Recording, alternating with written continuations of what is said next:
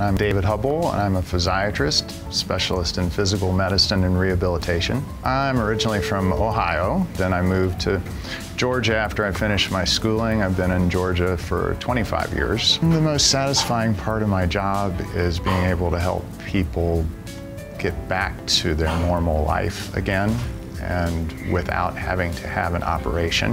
What separates Georgia Bone and Joint is that all the doctors here are just really well trained, first of all, but more than that, people seem very comfortable here. They seem able to tell the doctor whatever is going on with them, and it's, it's, there's, there's less of a barrier there.